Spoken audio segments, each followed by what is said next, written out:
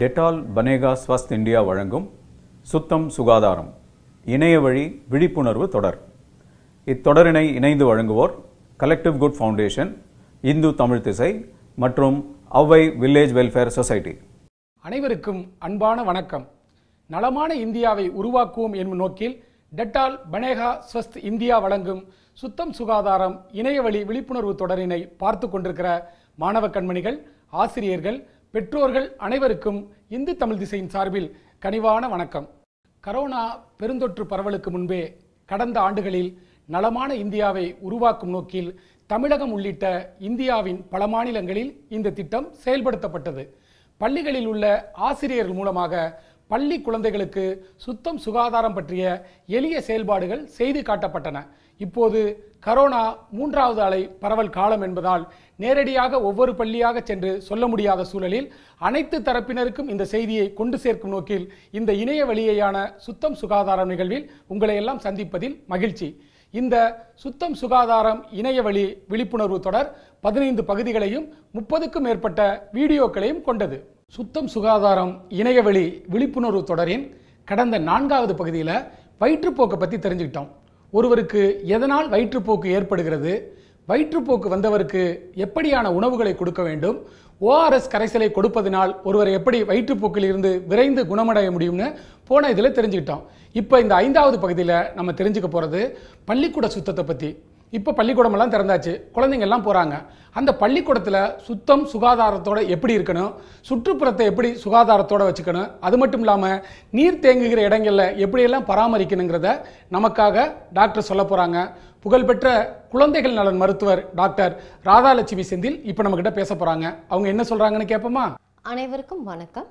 போன எபிசோடில் வயிற்றுப்போக்கு நோய் பற்றியும் அந்த சமயத்தில் நம்ம என்னெல்லாம் பண்ணினா குணமாகுவோன்றதை பற்றியும் தெரிஞ்சுக்கிட்டோம். இன்னைக்கு எபிசோடில் ரெண்டரை வருஷ காலத்துக்கு அப்புறம் ஸ்கூல் ஓப்பன் பண்ணுற சமயத்தில் நிறைய பேருக்கு பதட்டம் இருக்குது பேரண்ட்ஸுக்கு இருக்குது டீச்சர்ஸ்க்கு இருக்குது குழந்தைங்களுக்கும் இருக்குது இப்போ போனால் நமக்கு நோய் தொற்று வந்துருமான்னு. இந்த நோய் தொற்று வராமல் நம்ம சுத்தம் சுகாதாரமாக இருக்கிறதுக்கு என்ன செய்யலான்னு பார்க்கலாம். வைரஸ் கிருமி தாக்குதல்ன்றதை நம்ம அறவே ஒழிக்க முடியாது. அதனால் இந்த சமயத்தில் கூட யாருக்காவது உடம்பு சரியில்லைன்னா டீச்சர் ஆகட்டும் குழந்தையாகட்டும் இருமல் சளி வாந்தி ஜுரம் லூஸ் மோஷன் இந்த மாதிரி எந்த தொந்தரவு இருந்தாலும் கண்டிப்பாக லீவ் எடுத்து வீட்டில் ரெஸ்ட் எடுக்கிறது அவங்களுக்கும் நல்லது. நம்மளை சுற்றி உள்ள மிச்ச குழந்தைங்களுக்கும் நல்லது. ஒருவேளை நீங்கள் ஸ்கூலுக்கு வந்ததுக்கப்புறம் உங்கள் உடல்நிலை சரியில்லைன்னு தோணுச்சுன்னா இருமலோ சளியோ ஜுரமோ லூஸ் மோஷனோ வாந்தியோ இருந்தால் உடனே நீங்கள் உங்கள் டீச்சர்கிட்ட இன்ஃபார்ம் பண்ணி நீங்கள் உங்களை தனிமைப்படுத்திக்கிறது உங்களுக்கும் நல்லது உங்களை சுற்றி உள்ளவங்களுக்கும் நல்லது. அந்த மாதிரி நேரத்தில் உடம்பு சரியில்லாதவங்க இருந்த இடத்த சானிடைசர் வச்சு க்ளீன் பண்ணோன்னா ஏதாவது கிருமி அந்த இடத்துல இருந்தால் கூட அதை நம்ம தவிர்த்துடலாம். அது தவிர்த்து எப்பொழுதும் ரெகுலர் ஹேபிட்டாக சானிடைசர் நம்ம கான்ஸ்டண்ட்டாக யூஸ் பண்ண கற்றுக்கணும் ஒவ்வொரு பீரியட் முடிஞ்சதுக்கப்புறம் இல்லைனா ரெண்டு மணி நேரத்துக்கு ஒருக்கா நம்மளே ஏதாவது ஒரு சானிடைசரை பாக்கெட்டில் வச்சுட்டு கைகளில் நல்லா சுத்தம் பண்ணிக்கிட்டே இருந்தால் நம்ம கையில் நமக்கே அறியாமல் சின்ன சின்ன கிருமிகள் இருக்கும். மைக்ரோ ஆர்கானிசம் அப்படின்னு சொல்லுவோம். நம்மளால் பார்க்க முடியாது. கிருமி இருக்குன்னு நம்ம நினச்சிட்டு நம்ம கைகளை அடிக்கொருக்கா சுத்தம் பண்ணிக்கிட்டே இருப்போம் இதை தான் முன்ன காலத்தில் நம்ம ஹாஸ்பிட்டல்ஸ் கிளினிக்ஸில் ரெகுலராக பண்ணிகிட்டு இருந்தோம். இந்த சூழ்நிலையில் இது ஒரு நல்ல விஷயம் நம்ம எல்லாரும் கற்றுக்கிறது இயற்கையாகவே நம்ம எல்லாரும் நம்ம கைகளை அடிக்கொருக்கா முகத்துக்கு கொண்டு போவோம். நம்மளை அறியாமல் நம்ம கையில் நிறைய மைக்ரோ ஆர்கானிசம்ஸ் இருக்கும்.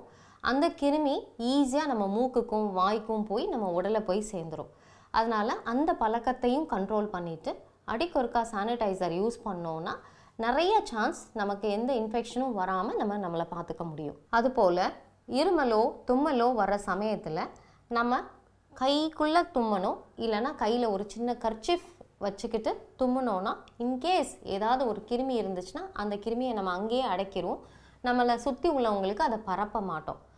ஒரு சிலருக்கு உடம்பு சரியில்லாதவங்க தும்முற சமயத்தில் அவங்க உடம்புல ஒரு தும்மல்லே பல்லாயிரம் வைரஸ் கிருமி டக்குன்னு வெளியில் ஸ்ப்ரெட் ஆகும். கொரோனா சமயத்தில் நம்ம மாஸ்க் போட்டிருக்கோம். அந்த மாஸ்க் நமக்கு பாதுகாப்பாக இருக்குது இனிமேல் நம்ம மாஸ்க் போடாத காலத்தில் நம்ம தும்மும் போதும் இருமும் போதும் கர்ச்சிப்குள்ளே தும்புறது நல்லது. இன்னும் பெட்டராக பண்ணணும்னா நம்ம இருக்கிற இடத்த நம்மளே ரெகுலராக சுத்தம் பண்ண கற்றுக்கணும் ஸ்டூடெண்ட்டாக இருந்தாலும் சரி பெரியவங்களாக இருந்தாலும் சரி அது ஒரு நல்ல பழக்கம். ஸ்கூல் டைம்ஸில் lunch break snack break evening time எல்லா டைம்லேயுமே நம்ம இருக்கிற இடத்த நம்ம சர்ஃபைஸை சானிடைசர் வச்சு நம்ம க்ளீன் பண்ணோன்னா நம்மளை அறியாமல் ஏதாவது ஒரு கிருமி இருந்தால் கூட அந்த தாக்குதல் கூட நமக்கு இல்லாமல் நம்ம பண்ணிக்க முடியும். இந்த மெஷர்ஸ் எல்லாம் நம்ம ஃபாலோ பண்ணணும்னா திருப்பி இந்த ஸ்கூல் ரீஓப்பனிங் அந்த டைமில் இன்னும் தைரியமாக பெற்றவர்களும் குழந்தைங்களும் டீச்சரும் ஸ்கூலுக்கு போகலாம். இது தவிர பறந்து வந்து நம்ம மேலே உட்கார்ற மஸ்கிட்டோ அதால் உள்ள உபாதைகள்லேருந்து நம்ம எப்படி தப்பிக்கலாம்? இந்த மஸ்கிட்டோவால் பலவிதமான கொடிய நோய்கள் பரவுது. மலேரியா ஜுரம் டெங்கு ஜுரம். இந்த டெங்கு ஜுரத்தில் நிறைய பேருக்கு அதிக காய்ச்சல் ஒரு சிலருக்கு ஹாஸ்பிட்டல் அட்மிஷன் தேவைப்படுது. ஒரு சிலருக்கு உயிரிழப்பே நடக்கிறது. இது ஒரு கொடிய நோய். அதனால் இது மஸ்கிட்டோவால் பரவுதுன்னு நமக்கு நல்லா தெரியும். இதை தவிர்க்கிறது ரொம்ப ஈஸி. இந்த கொசுக்கள் தண்ணி எங்கே தேங்கி இருக்கோ அங்கே தான் ப்ரீடிங் நடக்கும். அதாவது நிறைய நிறைய கொசு உற்பத்தி அங்கே தான் நடக்கும்.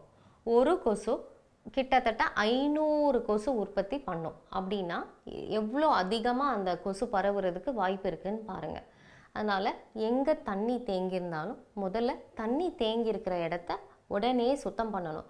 ஒரு சின்ன பிளாஸ்டிக் பேப்பர்லேயோ இல்லை சின்ன தேங்காய் மட்டையில் தண்ணி இருந்தால் கூட அதை நம்ம உடனே கிளியர் பண்ணிடுறது. அந்த கொசுவை அங்கே தங்க விடாமல் பண்ணுறதுக்கு நம்ம எடுக்கிற முதல் ஸ்டெப்பு அதுக்கப்புறமேட்டு மஸ்கிட்டோ ஸ்ப்ரே இல்லைன்னா பெஸ்டிசைட்ஸ் பூச்சிக்கொல்லி மருந்து. அதெல்லாம் வந்து ரெகுலராக நம்ம யூஸ் பண்ணணும் அப்படின்னா இந்த மாதிரி கொசு தொல்லையோ கிருமி தொல்லையோ நமக்கு இருக்காது. ஸ்கூல்ஸ் எல்லாம் அட்லீஸ்ட் வாரத்தில் மூணு தடவை ரெகுலர் பெஸ்டிசைட் யூஸ் பண்ணுறதுனால இந்த கொசு தொல்லையை அறவே நம்ம தடுத்துடலாம். அதனால் கிருமி தாக்கல் இல்லாமல் கொடிய நோய்கள் வரவிடாமல் இருக்கிறதுக்கு நம்மளை நாமே சுத்தமாக வச்சுக்கணும். சானிடைசர் யூஸ் பண்ணணும். நம்ம இருக்கிற இடத்த சுத்தம் பண்ணணும். இருமல் சளி காய்ச்சல் அந்த மாதிரி இருந்தால் ஸ்கூல் போன்ற இடத்துக்கு நம்ம வரக்கூடாது. நம்மளை சுற்றி இருக்கிற இடமும் நல்லா சுத்தமாக வச்சுக்கணும். கொசு தொல்லை கிருமி தொல்லையும் அறவே ஒழிச்சிடலாம். இதனால் நமக்கு ஒரு ஆரோக்கியமான வாழ்க்கை நம்பிக்கையான ஸ்கூலுக்கு போகிற வாழ்க்கையும் நமக்கு கிடைக்கும். இன்னும் பல விஷயங்களோட மீண்டும் அடுத்த நிகழ்ச்சியில் சந்திப்போம். பள்ளியை எப்படி சுத்தமாக வச்சுக்கணும்? சுற்றுப்புறத்தை எப்படி நீர் தேங்காமல் பார்த்துக்கணும்னு டாக்டர் ரொம்ப அழகாக தெளிவாக நமக்கு சொல்லியிருக்காங்க. இப்போ டாக்டர் சொன்னதையே வீடியோவாக பார்க்க போகிறோம் நமக்கு பலனளிக்கும் வளமான வாழ்வுக்கு வழிகாட்டிங்கிற ரெண்டு வீடியோ பார்க்க போகிறோம் அதில் ஒன்று பள்ளியை சுத்தமாக வைத்திருத்தல் ரெண்டு தூய்மையை கூறுதல் இந்த ரெண்டு வீடியோவையும் பாருங்கள் இதுலேருந்து தான் உங்கள்கிட்ட ஒரு கேள்வி கேட்க போகிறேன் என்ன ரெடியா?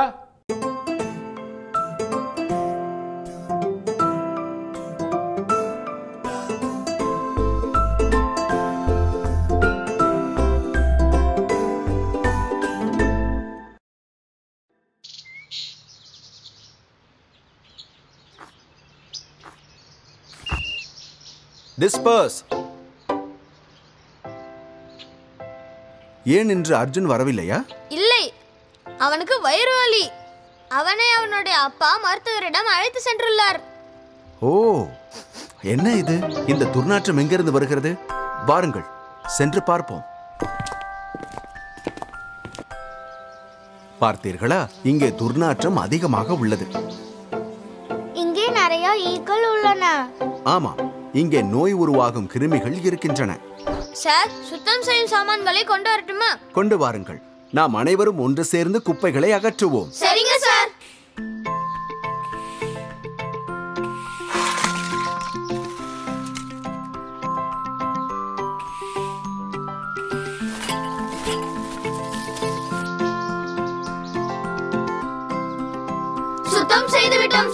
பாருங்கள் அழுக்கு மற்றும் நோய்களை உருவாக்கும் கிருமிகள் எப்படி அழிக்கப்பட்டிருக்கிறது என்று பார்ப்போம். நினைவில் கொள்ளுங்கள் விளையாட்டு மைதானங்களில் குப்பைகளை சேர விடாதீர்கள். அதனால் ஈக்கள் மற்றும் நோய்களை உருவாக்கும் கிருமிகள் உருவாகும். இங்கிருந்து கிருமிகளை பரப்பும் ஈக்கள் பறந்து சென்றுதான் அர்ஜுனின் உடல்நிலை மோசமானது. கைகளை சுத்தம் செய்யாமல் நாம் என்றுமே உணவுகளை உண்ணக்கூடாது. குப்பைகளை குப்பத்தொட்டியில் மட்டும்தான் போட வேண்டும். திறந்த வெளியில் துப்பவே கூடாது. மீந்து போன உணவை கண்ட இடங்களில் போடக்கூடாது. அதேபோல் உங்கள் வகுப்பின் நாற்காலி அட்டவணைகளை அகற்றி எல்லா மூளை முடுக்குகளிலும் மறைந்திருக்கும் கிருமிகளை நாம் சுத்தம் செய்ய வேண்டும். வகுப்பறை என்றும் சுத்தமாக இருக்க வேண்டும். பின்னர் நாற்காலி மேஜையையும் நாம் சுத்தம் செய்ய வேண்டும். மேலும் தண்ணீர் குடிக்கும் இடங்களில் நீர் தேங்குவதால் கிருமிகள் மற்றும் கொசுக்கள் வளரும் சூழல் உருவாகிறது. அதனால் நோய்களும் வேகமாக பரவுகிறது. ஈக்கள் கொசுக்கள் மற்றும் கிருமிகள் ஈரப்பதமான இடங்களில் நன்கு செழித்து வளரும் என்பதை என்றும் நினைவில் நிறுத்துங்கள். அத்தகைய இடங்களை சுத்தம் செய்வது மிகவும் அவசியமாகும். அது மட்டுமல்லாமல் குழந்தைகள் விளையாடும் தாழ்வாரங்களை சுத்தம் செய்வது மிக மிக முக்கியமான விஷயமாகும். நாம் நம் சுற்றுப்புறத்தை தூய்மையாக வைத்திருப்பதால் தான் நாம் அனைவரும் உடல்நலத்தோடு இருக்கிறோம். மேலும்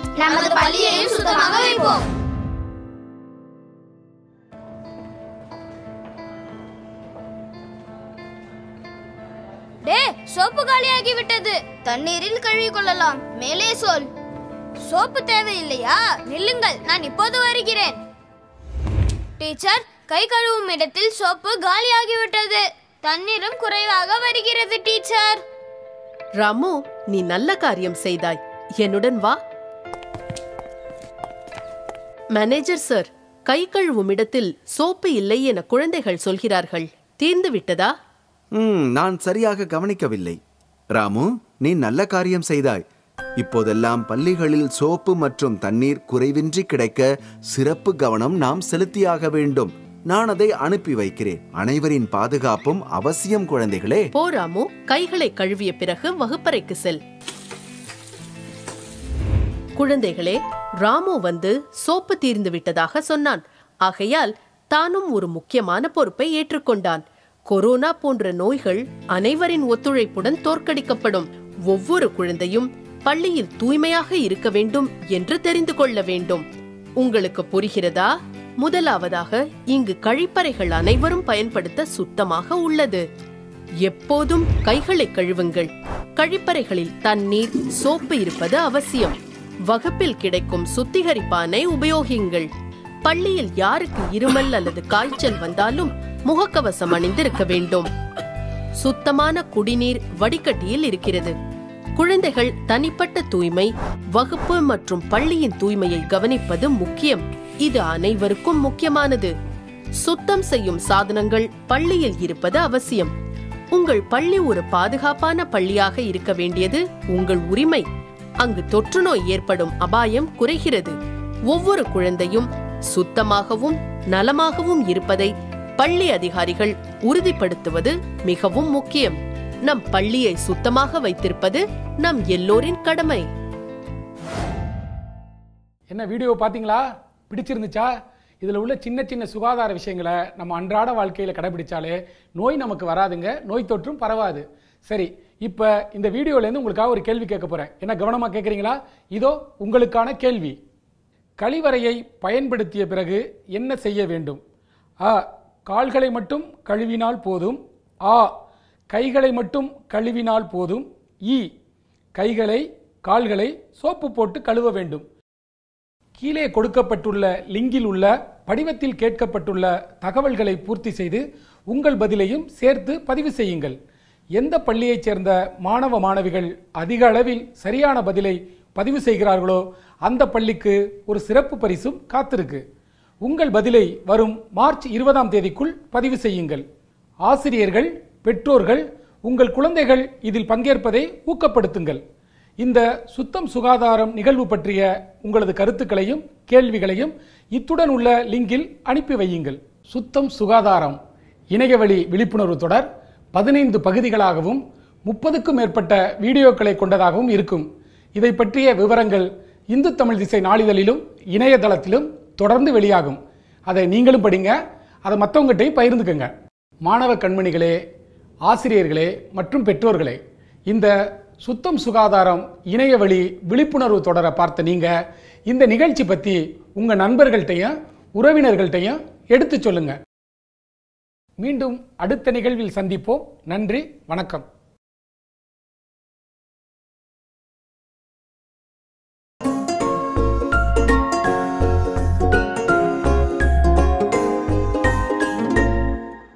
டெட்டால் பனேகா ஸ்வஸ்த் இந்தியா வழங்கும் சுத்தம் சுகாதாரம் இணைய வழி விழிப்புணர்வு தொடர்.